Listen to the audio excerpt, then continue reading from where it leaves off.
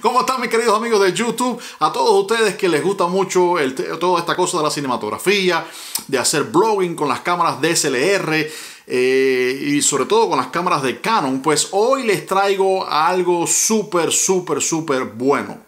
Ustedes saben que las cámaras de Canon, las DSLR de por sí son grandes, pesadas y los lentes también son grandes y pesados.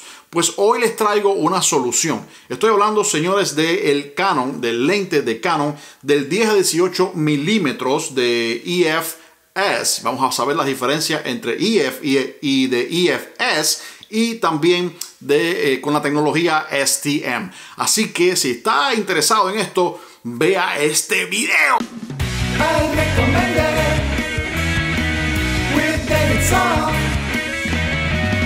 Bueno, señores, aquí estoy con esta recomendación para todos ustedes, mis queridos amigos de YouTube, que les gusta hacer videos, que les gusta esta cosa de la cinematografía, quizás de hacer documentales, o este es su sueño, o quizás simplemente hacer bloggings y andar con sus cámaras Canon eh, para hacer bloggings. Ustedes saben que estas cámaras Canon, como dije anteriormente en el principio, son bien, pero bien pesadas y sus lentes pues son bien grandes y pesados. Miren este lente, señores, que es uno de los lentes más populares que tiene eh, las cámaras Canon y casi siempre cuando te venden una cámara Canon te quieren vender este lente.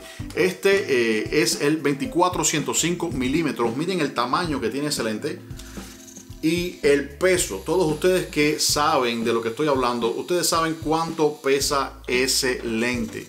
Es increíble, señores, es increíble el peso que tiene. Pues yo les traigo este lente que casi siempre es el que recomiendan en las tiendas en comparación a este lente que tengo aquí. Miren la diferencia de tamaño. Pero no solamente diferencia de tamaño, sino diferencia de peso.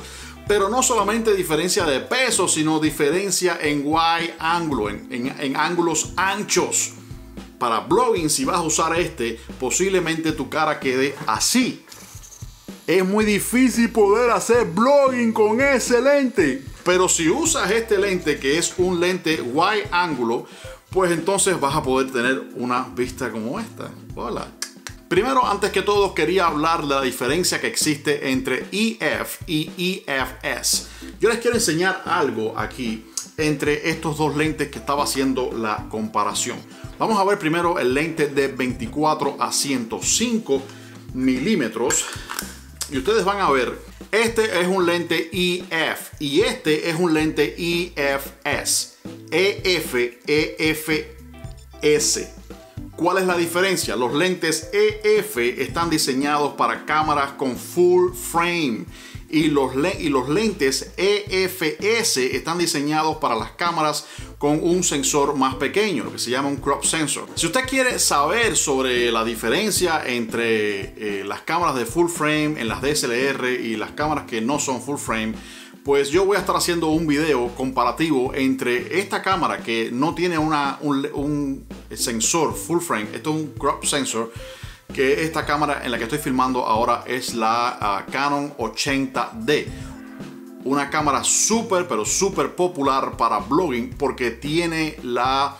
Eh, el sistema de eh, autofoco muy bueno, Dual Pixels Autofocus, que es buenísimo. Ustedes pueden ver que donde quiera donde yo eh, vaya, la cámara siempre va a estar enfocando mi cara porque lo tengo puesto para ahí y lo hace pues muy bien. También tengo la opción de hacerlo a través, eh, por ejemplo, de el screen del, del monitor de la cámara. Yo voy ahora con mi dedo a tocar el lente y la cámara tiene que enfocarse en el lente y va a sacarme de foco a mí. Ahora voy a tocarme la cara yo y va a sacar de foco el lente y me está enfocando a mí.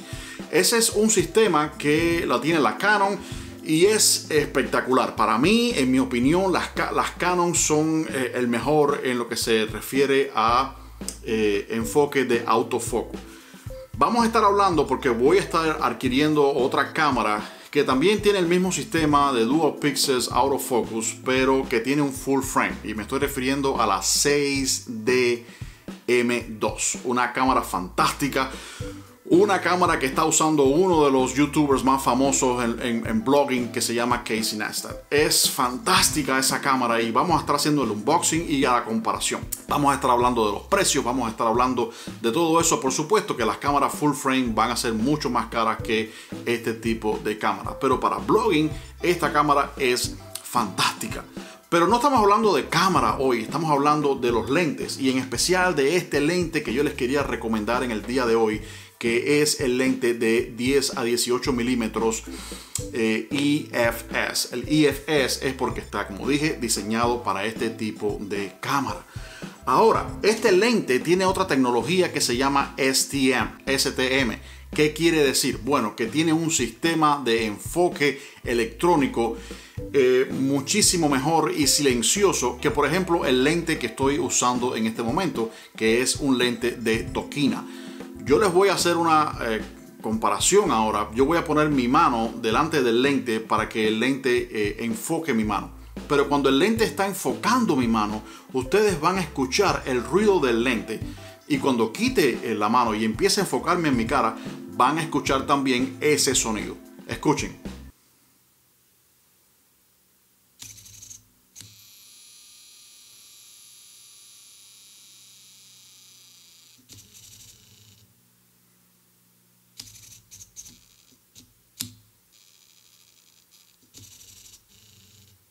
¿Saben por qué? Porque ese lente de Tokina no tiene ese sistema electrónico de STM.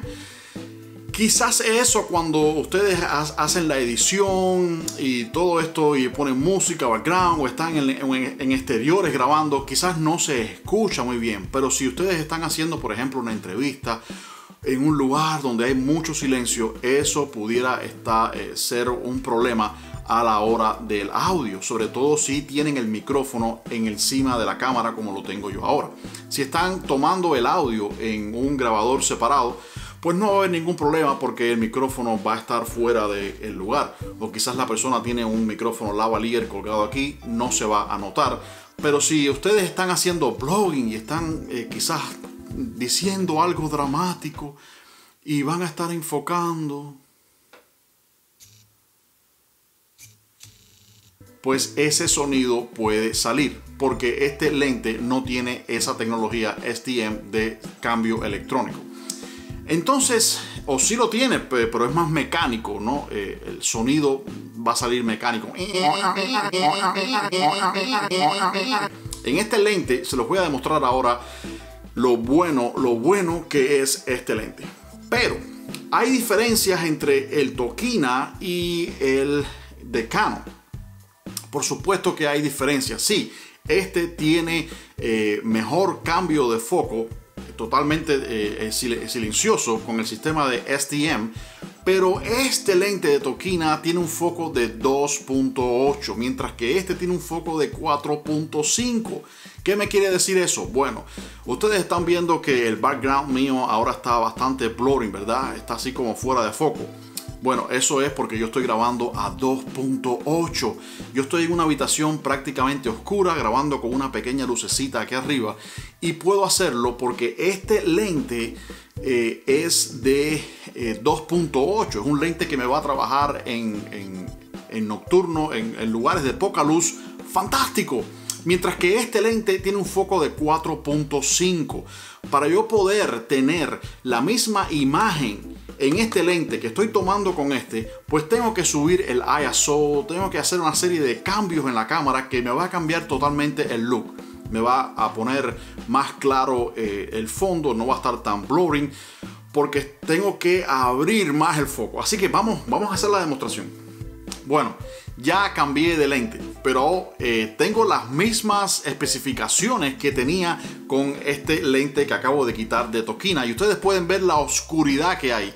Tengo el ISO en, en 400 eh, y para yo poder tener la misma iluminación eh, tengo que subir el ISO. Así que vamos a empezar a subir el ISO y a medida que lo voy haciendo ustedes van a ir viendo cómo el fondo ya se ve más claro, no estaba tan blurring, tan fuera de foco como cuando yo estaba usando eh, este lente. Tuve que subir el ISO a 1250. Eso me dice que la calidad de video Quizás ustedes no la noten, pero sí ya es diferente.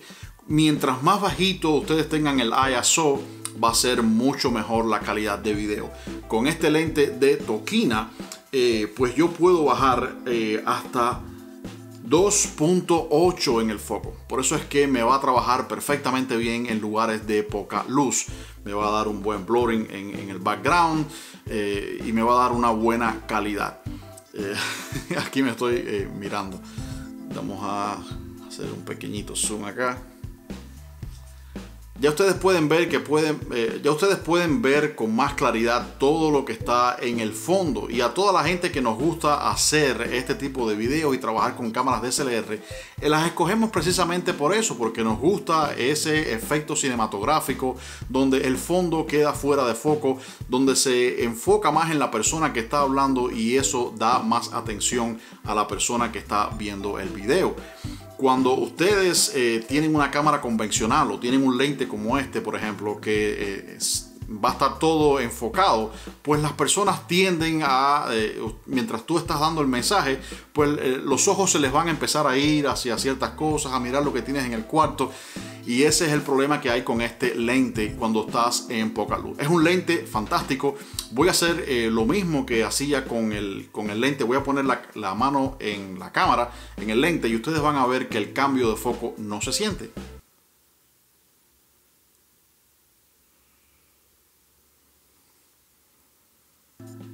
Silencioso completamente. Bueno, señores, este ha sido mi video. Eh, estén, eh, voy a seguir continuando. Esto es un pequeño abreboca porque quiero seguir eh, haciendo videos sobre este tipo de lentes de cámara cinematográficas o de cámaras DSLR. Nos vemos en el próximo video. Bye.